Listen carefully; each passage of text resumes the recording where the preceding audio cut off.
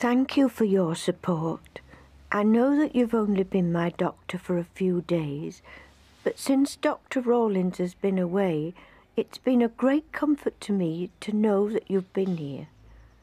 You may have been surprised by our recent conversations, but I know you are on my side and believe what I want is right. You are very understanding. I am determined to go through with this, Dr. McGuire. Can't go on. No animal would be allowed to suffer this pain. I know I can count on you. Thank you for all your help. These may be the ramblings of an old woman, but I think we understand each other. With many thanks, Jessie Helm.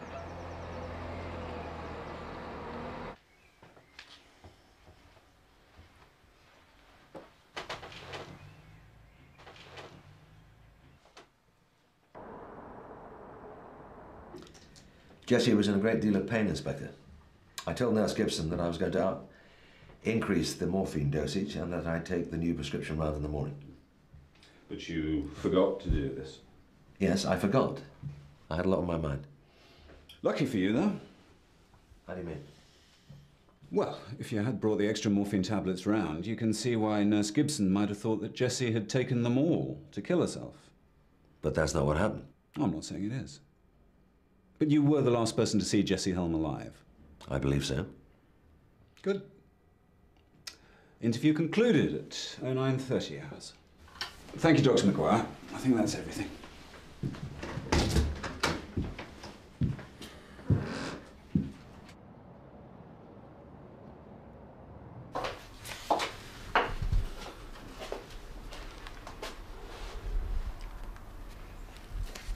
Hmm. Do you want a cup of tea, Dad? Darling. Okay. Do you think she knew how much I... Of course she did.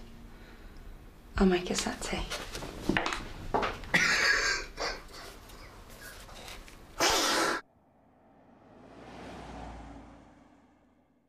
Morning. Morning. Oh, yes, that's nice. Suit you. Thanks, Mac. That's the last agency on the list, so there's no hope of finding a replacement for Jo today. We'll manage, don't worry about it. I only hope that Kate feels better soon. Yeah. What's up with her this morning, anyway? I'm not sure. Just wasn't feeling well, that's all. Day in bed's the best thing for her. Yeah. If I was Kate, I'd be sneaking off to do some last minute Christmas shopping. Hey, I'm only saying. We know what you're only saying, Caroline. Oh, happy Christmas to you and all. Caroline, you know Mac's got a lot on his mind. Oh, come on, Ruth. Patients die all the time. Well, Jessie was Jo's grandmother. Yeah, but she had good innings. It wasn't as though it was a surprise. You're supposed to be in bed. Let's just say I'm feeling better. Well, we're certainly glad to see you. Where's Mac? In his cave. Hi, Hi. um, I'm just going out. Got to, um... Last minute Christmas shopping? Yeah, something like that. Won't be long. I'm saying nothing.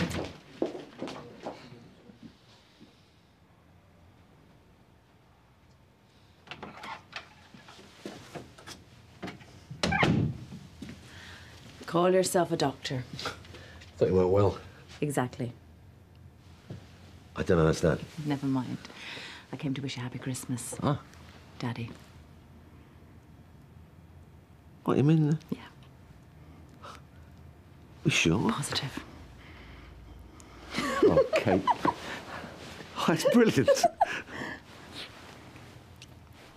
She was such a fighter, a survivor. Yeah, well, some things you just can't fight, Dad. No, It was a brain tumour. The doctors couldn't operate. It was just a matter of time. life was so precious to her. Yeah, well, it's done now, isn't it?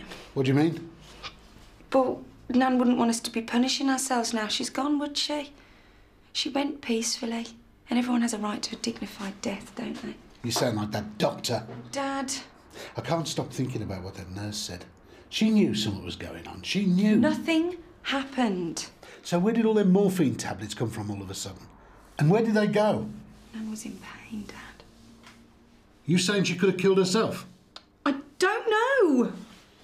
You shouldn't be allowed to get away with it. This playing God with other people's lives. Someone's got to pay. You can't just get away with murder. Rudolph the red-nosed reindeer Oh, have you made me one? Yep. You're in a happy mood. Oh, I've come to a decision, haven't I? Oh, yeah, what's that about? Can't tell. Rana. Can you keep a secret? I spent three years in the brownies and I'm trained to kill a man with my bare hand. Tell. Okay. I've decided. Where's Steve? Uh, in his room. Okay, I'll find him. Don't anybody move. What's up with him? I'm, I'm really not allowed to say. Oh, this is ridiculous. We have ways of making you talk. I was in the middle of a phone call, man. Come on, Steve, you can wait. What, why? What for? You'll see. Yes? Okay. Daddy.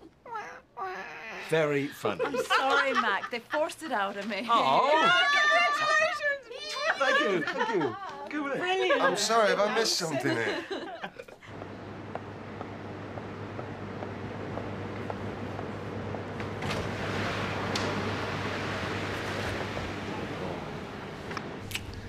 This is becoming a bit like brief encounter.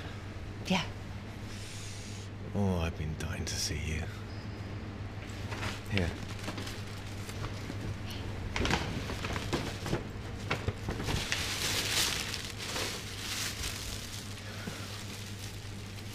It's more for me, really, I suppose. Thanks. Helen? Something wrong? Oh, God, you're not. No, I'm not pregnant. Well, what is it then? You're right, this is like a film. Only not like Brief Encounter. More like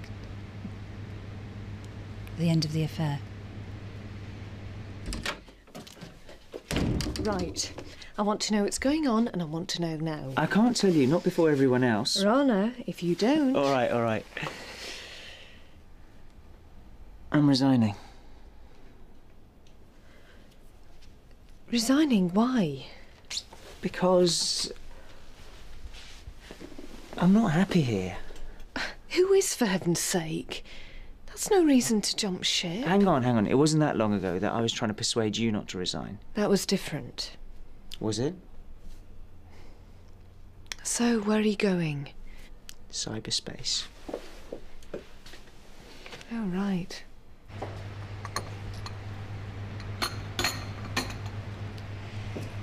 This isn't me. I'm not the kind of woman that has affairs. You've been doing a pretty good impersonation of one so far. I realise now I've been running away, escaping, pretending to be someone else for a while. It's been fun. Fun? It's been wonderful. In every way. But Ruth at the practice knows. She's a friend. And I'm pretty sure Jo knows, which means it's only a matter of time before everyone does. You're worrying too much. This morning on the phone, I lied to Phil. I did it without thinking. I do it all the time. It's become so easy. I'm sorry. You don't have to be sorry. I'm, I'm not blaming you. It's just, it's gone too far. I don't want to lose my marriage.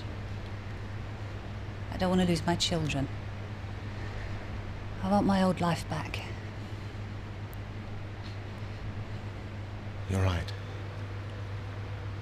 It's not fair on you. I should have seen that this was going to happen. Do you mean that? I don't like it, but yes, I do mean it. It was rather it was the other way around. You could stop being the old Helen, but I can't. I wish I could, but I can't. I know.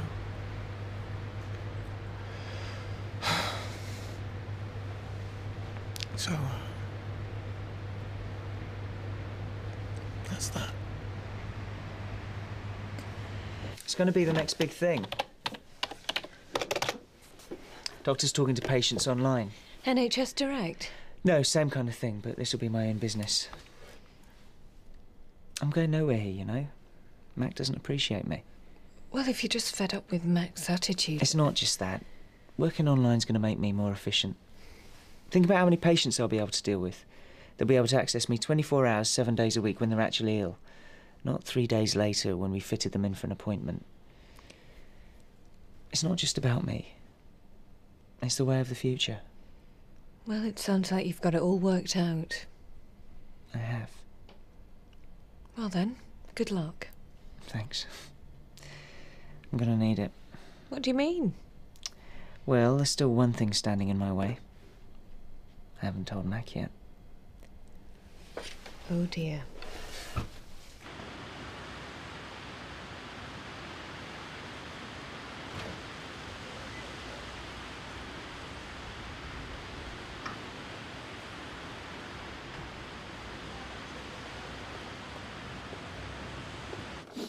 Steve, the very man. Look, uh, I'm going to try and organise a bit of do for Kate tonight after surgery, celebrate the good news.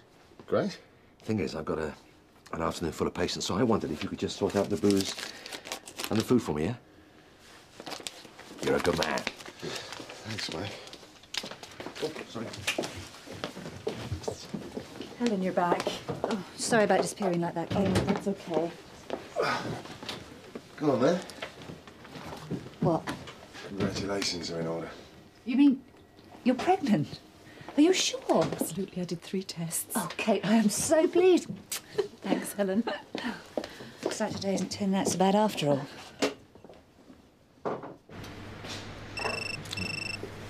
Hello. Hello, you. You busy? Hi. How's you fancy being Father Christmas?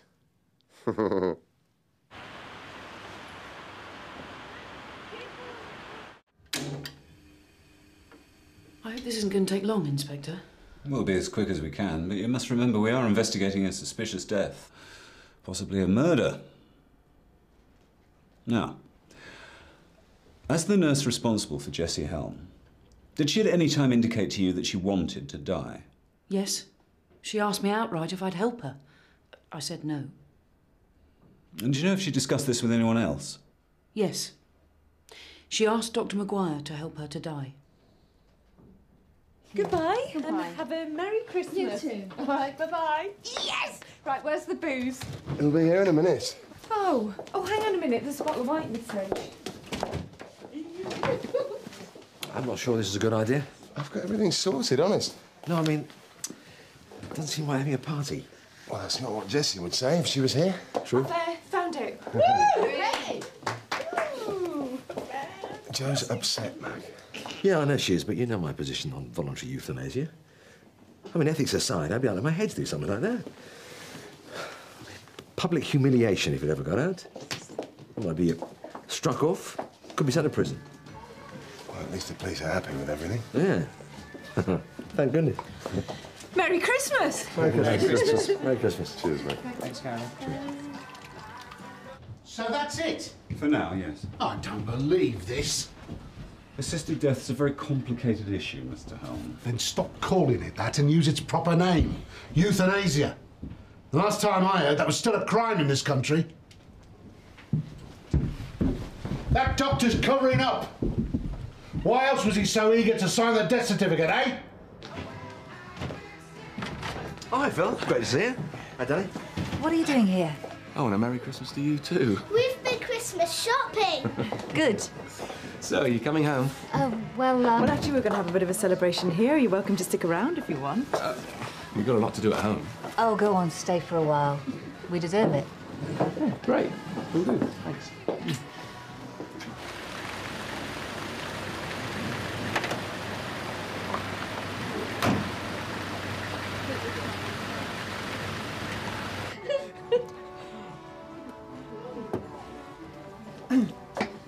Could I? I wanted to, to have a word, uh, Mac. Uh, yeah, yeah, of course. Well, you see, the thing is, I um, was wondering.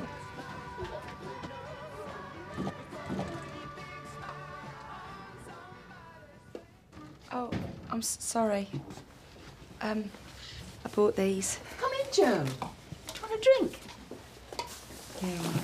Thanks. There you go, sweetheart. Ta. I need this. Kate? Come on. Cheers. Hi, Jo.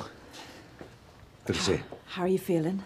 Oh, you know. I didn't know you were having a party. No, no, no, no. It's, it's not a party exactly. It's, it's more of a, you know. Ho, ho, ho! Merry Christmas, everybody!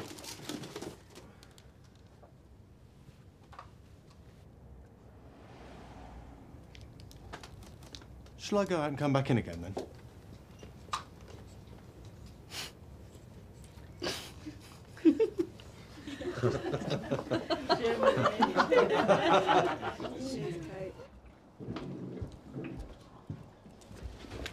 Post-mortem report? Don't forget, if you're not in bed by nine o'clock, then Santa won't bring you any presents. Yes, he No, he won't.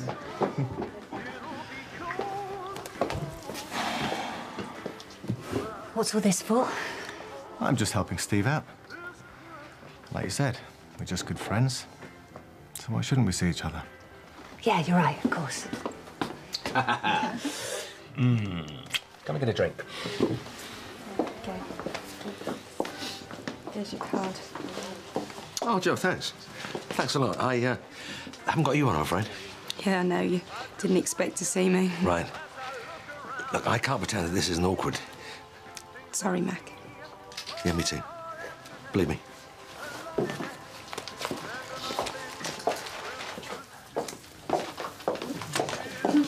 Hold that. What's up, Rana? Max just gone out for a fag. This is my last chance. Good luck. Here's yours. Thank you. Come out with some peace and quiet. That's not about you. Actually, I wanted a word, Mac. That's right, you did. Well? You okay? There's no easy way to say this, Mac. Hmm? I'm resigning. Oh.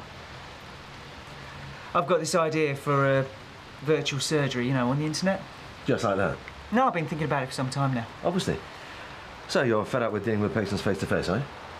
Oh, I just think I can provide a better and more efficient service online. And this would have nothing to do with making shed loads of cash. God, why don't you talk to me? I am talking to you. After you've made up your mind. Yeah, well, you know, I'm in a difficult position here, you know?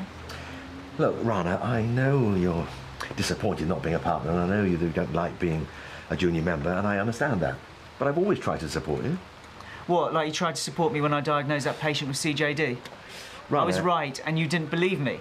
Rana, you know that I. And what about the sexual harassment case that nearly cost me my career? I'm sorry you feel like that. I thought we were friends. Well, if we really were friends, we wouldn't be having this conversation. That's how it is, isn't it? And there's nothing I can say can make you change your mind. Sorry. Any advice? Yeah. Don't do it.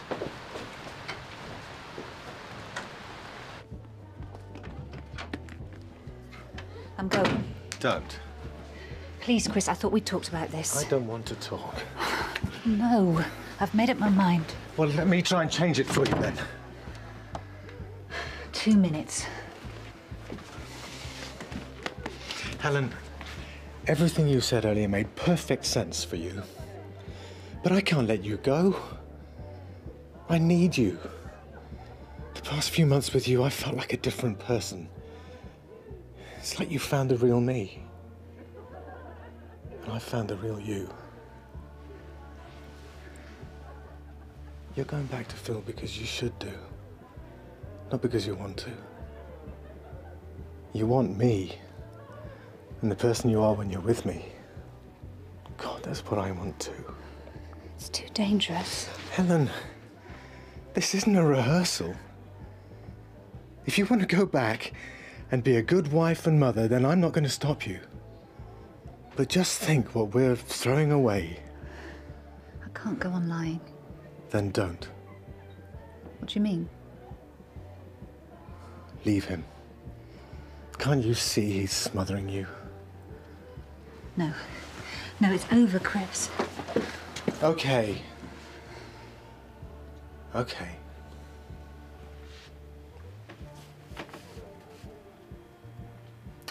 Just one last kiss. Come on. It's Christmas.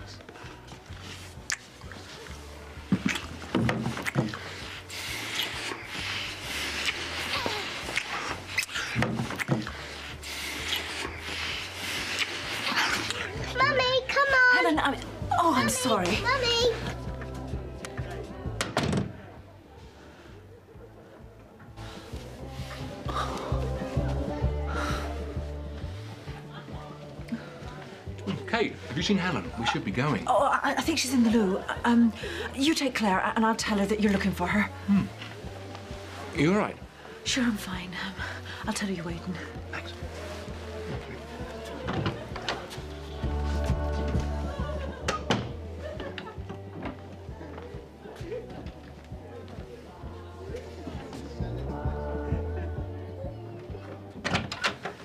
Kate, this isn't what it looks like. All those hours I've been listening to your stories. It's all lies. You don't understand. Oh, yes, I do. You've been using me. This is exactly what I didn't want. Oh, I'm sure. How are you going to explain this to Claire? What if she tells Phil? What if she does? I've got to talk to her. Don't you dare!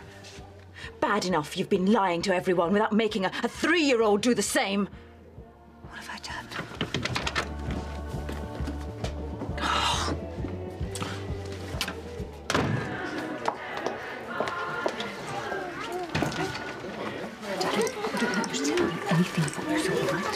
No?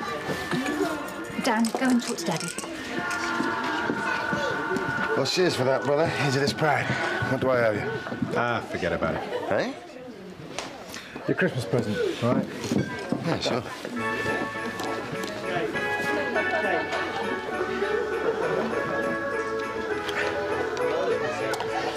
So, what's going on over there? Haven't a clue. Max enjoying himself. Oh, yeah. You haven't heard, have you? Kate's pregnant. Yeah, Ruth told me. It's lovely. I just hope he knows what he's doing, bringing another life into the world. Jo, I'm all right. I'm all right. look, I do know what you're going through. Do you? Yeah, I do. Sorry. Look, if it's any consolation, I know that Mac had nothing to do with Jessie's death. Jo? Any more red, Dolly? No, I'm on the champagne. Here. How did it go with Mike? Oh, it wasn't as bad as I expected. Good. It was worse. Okay, right, everybody, um, can we have a bit of hush? Can I just have your attention for a moment? I promise you I won't be long. Um, right, now, you are probably wondering why I've called you all here tonight. it's been a long year. Uh, we've had our ups, we've had our downs, we've had our difficult times, and we've had one or two good times. Yeah. Well, there have been times when I have wondered why I'm a doctor, that's for sure. There have been times we've wondered if you're a doctor.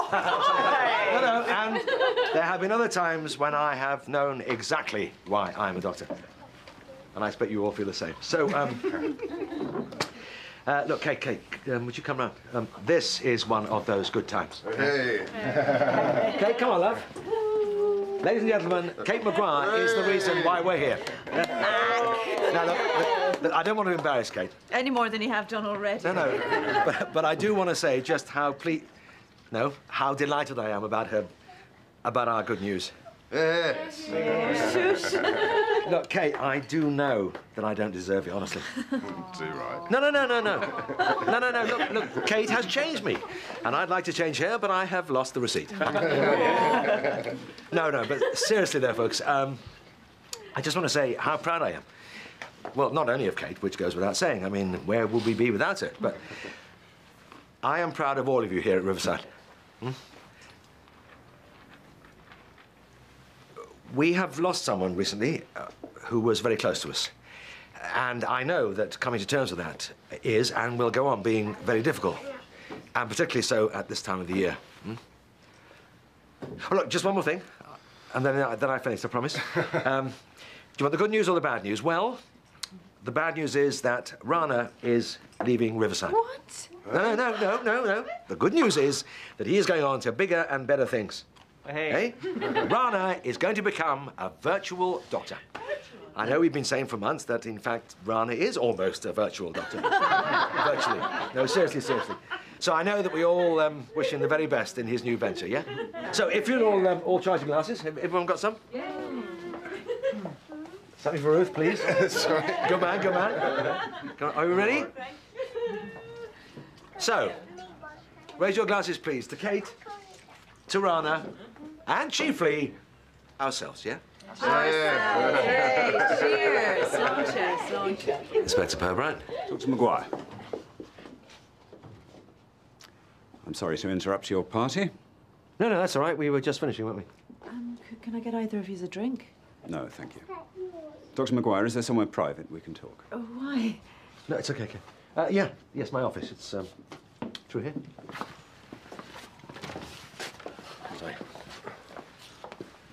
Okay. I'm coming with you.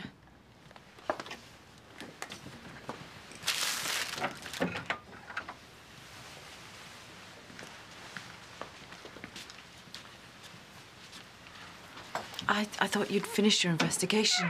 Not quite. I'm afraid we do need to talk to your husband again. I've already told you everything I know. Have you? The toxicologist's report proves that Jessie Helm died of a massive overdose of morphine sulfate tablets. I think you know how she got hold of them. Oh, you're not seriously. I'd really rather conduct this interview down at the station. I have nothing more to say. Very well. Dr. Brendan McGuire, I am arresting you for the murder of Jessie Helm. You do not have to say anything, but it may harm your defense if you do not mention when questioned something you later rely on in court. Anything you do say may be given in evidence.